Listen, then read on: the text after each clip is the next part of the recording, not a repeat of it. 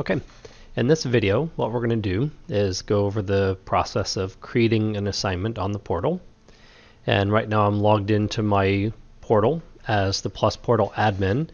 Normally a teacher would just log in directly with their own credentials. Uh, but for those who are the Plus Portal admin, know that you can go and view the portal as any user, parent, student, or teacher. And that's what I'm doing. So I'm going in as a teacher. And so I'm going to go to Steve Carter and view as him. And there are a couple ways that I can go in and create an assignment. One is that I could go into this class. I'm going to use my AP English, so I could click on that and go into it. I won't. There's a more efficient way um, to do this. And I could even go over to Actions, and I think this is the way I'll start. So I could add an assignment from here without having to go into that class page. So I'll go and add an assignment. I'm going to add a brand new one, but I also have the option of adding from my library, which means I could choose assignments from past year's classes. Okay, so that's that's a whole uh, very powerful thing to be able to do. But I'm just going to create one from scratch here. Okay, and uh, my idea for the content of this assignment, I'm just copying and pasting here, um, is just what I'm teaching you. So I'm going to say that this is assignment is how to create an assignment. I'm going to put in a description. Okay. And let's see, I have a link I want to put in here as well. And just like you'll see the text coming in here, so I'll start a new line. I can post links here within the description. And I can also, I'll do this, well, I'll go ahead and do this. Uh, I can also post them as links here. So I'll say the Rediker site or click here to access the online resources or whatever you want that to say there. And I'll just put in the link. Okay, now let's go back up to the due date. Well, actually, visibility for students and parents. Teachers, you have the ability to control whether or not the teacher, sorry, the parents or the students are going to see this assignment. And not only do you have the control over whether they're going to or not, but you also have the ability to delay that.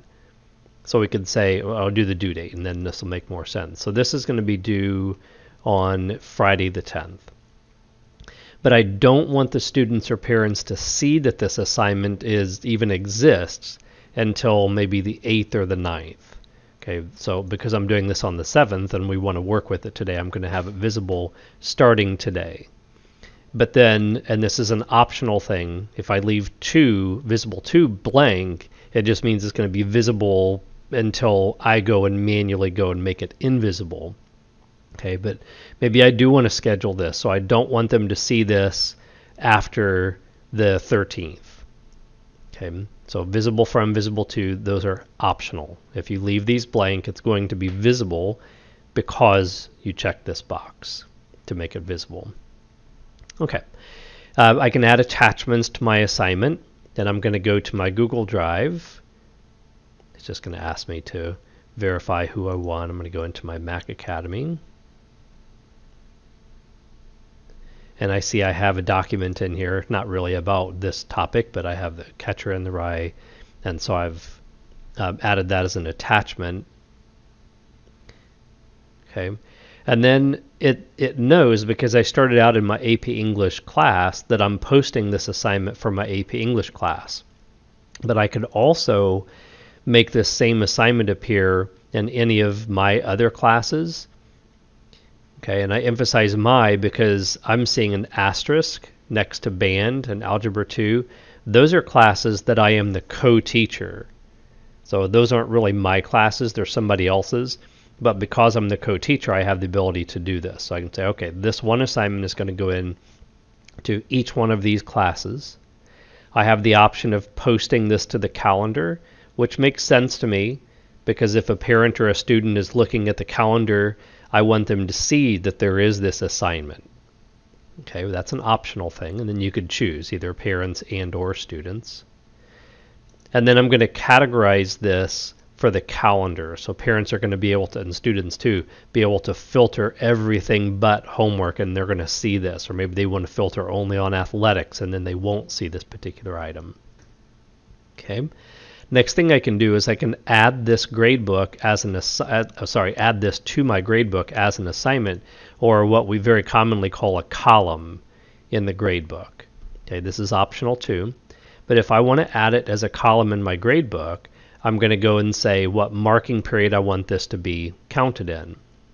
And I'm going to not go into the details here of linking skills or, or indicators uh, to this assignment, but know that if you're doing skills grading or standards based grading, absolutely your columns uh, can be used to calculate those uh, skill and standard grades.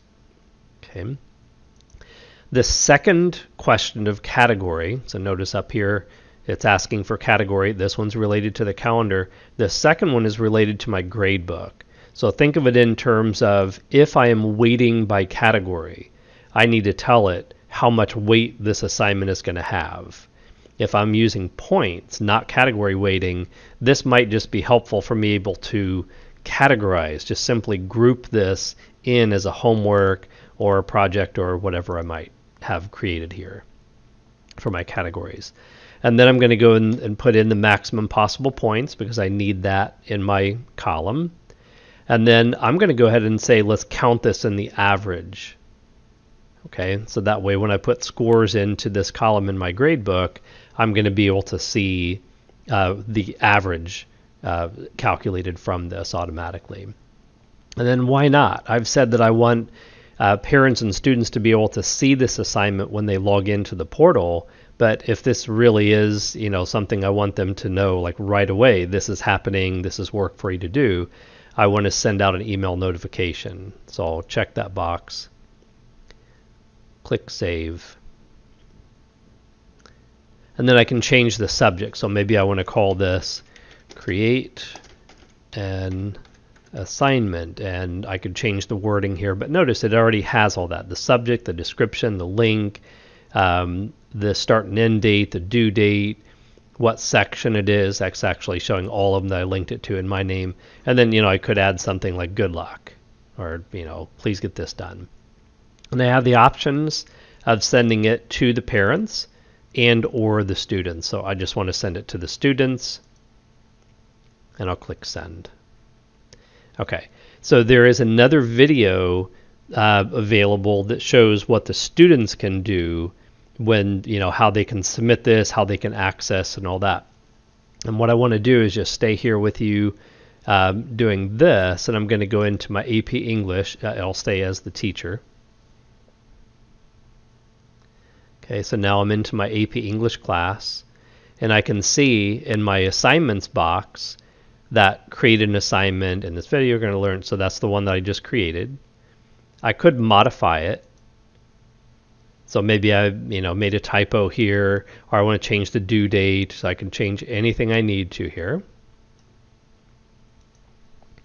Okay, and I think I will go ahead and uh, go into the gradebook and show that that becomes a column in the gradebook. So now we can see the leftmost column is that one, create a video. And so that's the column that was created here. So now I'm logged in as the parent of Kendall. And it, it may be obvious I'm logged as the parent because I see both or all, however many kids this parent may have in the school.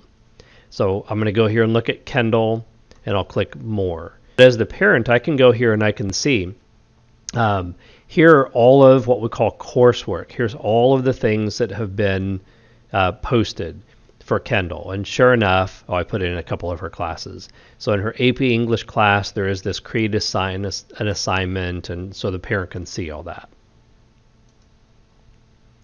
Okay, so now the next thing I'm going to do is I'm going to view the portal as the student, and I can scroll down just like the parent saw in coursework I can see here's all of the, the things that are, and notice that the filter is set by default to show my upcoming coursework. I have this set in my own school to show upcoming coursework, and yep, there's quite a bit. There's a discussion. There's another video that uh, you can see how these discussions work. Very cool stuff. But here I find my AP English, create an assignment, and I want to go and submit this. So notice back here, and we're going to do this submission, but it's taken us to the eLocker and the assignments tab. So the eLocker page and the assignments tab. and it's focused on AP English and this create an assignment. And I can just put in here uh, my description, done. And then comments. Maybe I want to ask whatever my comments were. I'm going to copy things in here. I can attach a file. So I'll go to my Google Drive again. And let's see, this is Kendall, so we're going to go into hers. And she has this document that she created. Now for Google Docs, it's probably going to make more sense that I add this as a link. And I don't think I have that available, but I could go into my Google Drive and uh, create a link so I can share that. And then the teacher has direct access to that. Uh, you know, we can collaborate on it. Okay, so I'm submitting this, and as the student, I'm submitting this assignment. And then it's asking, do I want to send an email to the teacher? Sure, why not? I'm proud of my work, or I, you know, whatever. Um, I can say, it's done. Please let me know how I did. Okay, and I'll send that. So the teacher's getting a, an email now saying that this is, assignment is done. Okay, so I'm shifting back now to the teacher view of things. So here's the teacher viewing the portal as them. And I mentioned the e-locker for the students because it's really the same thing for the teachers. I think even more powerful that I don't want to have to go into every one of my classes, although I could, and see, you know, what's been submitted. But I want to go into the e-locker Notice that it focuses, focuses on assignments right away. And I could say I want all of my classes, and then I can't select a particular assignment. Or maybe I'm just interested in AP English and I want to see who all has turned in this create an assignment. So maybe I open the document or I go to the Google Doc and I look at her work. And then I want to make a comment. Uh, so this is pretty good. Um, how about adding uh, some more detail? So we're back in as Kendall. I'm going to go to my e-locker and I can see, right, here's this one that I submitted and the teacher made a comment. So I'm going to click here and I say, oh, okay, so the teacher gave me these comments, adding some more detail. So as the student now, I could delete this if I wanted to and say, oh, right, so I submitted that and I, I know I can do better. And I won't do it right now, but I could delete it. And then even from here, I could click upload. Now this is going to accomplish the same thing. I submitted this assignment using, you know, from the coursework box, but I could go here and say, well, I'm already here. So I'm going to submit for my AP English this create an assignment and now I'll say I won't do this whole thing, but this is version 2 in my comments. Thanks, I added more detail, add the content, whatever it may be. Maybe it's a file or a link or some combination of these things. And I'll submit it. And I won't do the email again just to save a couple of minutes here. As the student, now that I've submitted my assignment, uh, I'm back on my home page. I want to go down to my coursework and knowing that I've submitted this assignment, the teacher said, you know, good job this is done. Okay, so I'm going to go to that in the course box, coursework box, and I'm going to mark that as completed. Okay, that doesn't say to the teacher, this student has told you that this assignment is done. It's just my way as the student of being able to say this is done. So now I've switched back to the teacher. I'm going to go into my gradebook for AP English. I'm going to give you a score of 23. And you can see that that did change the student's average. And I also want to make this score visible. So it's saying it's not yet shared, but I'm going to make it that way now. So this is what it's going to look like. This student, we're logged in as the student again. I can look at my AP English class and I see that my average right now is an 87.33, which on my school's grade scale is a B. And I'll click on that so I can see just how we arrived at that. You know, how did I get here? And it says on this one, create an assignment, all the details about that. I got a 23 out of 25. Okay, so now I'm going to shift gears a little bit. Uh, we're looking at the portal logged in as the Plus Portal admin. So I'm going to go to permissions. I'm going to go to parents.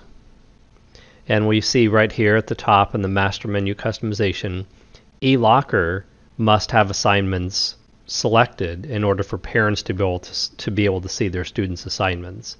So I could uncheck this. If I wanted to say parents can't see these assignments, it's between teachers and students, then I could do that, and that's fine. And it's the same thing there. So we're saying, do we want students to be able to access assignments in the eLocker on the portal? Teachers must have assignments checked. If I don't allow teachers to have this assignments box, that's going to really limit how they can do things. They can still go into their class pages and they can create assignments, but they're not going to be able to see the the homework hand in and and all that happening. I hope that you found this to be helpful and uh, look for other videos coming soon here on our website.